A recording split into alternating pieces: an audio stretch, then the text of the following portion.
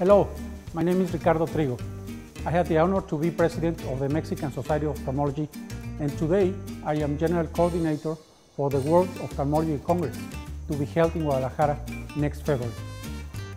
On behalf of the 4,000 eye specialists in Mexico, I would like to say that this is a privilege to host the most important ophthalmology meeting in the world. My colleagues and I have always had special professional and academic relations with our friends from Latin America and Spain.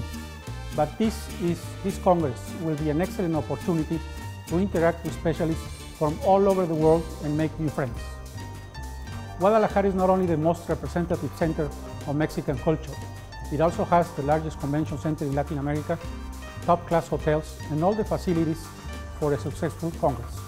And something that everyone will especially enjoy is the culinary experience. From street food to some of the best restaurants in the world, dining in Guadalajara will truly be one of your most fun memories. Do not wonder, come to Guadalajara.